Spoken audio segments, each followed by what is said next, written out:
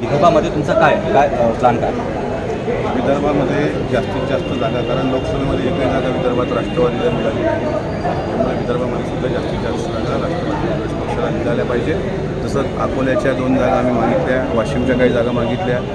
आणि त्याच्यामुळं विदर्भात ताकद ज्या पक्षाची जास्त तोच पक्ष महाराष्ट्रात मला असं वाटते मुख्यमंत्रीपदावर पोचतो महत्त्वाचा मुद्दा की लोकसभेच्या वेळेला देवेंद्र फडणवीस यांनी सांगितलं होतं की त्यांना जेवढ्या जागा मिळतील त्यांनाच विधानसभेमध्ये त्या पद्धतीने जागा वाटल्या जातील. काय वाटतं तुम्हाला किती जागा मिळतील?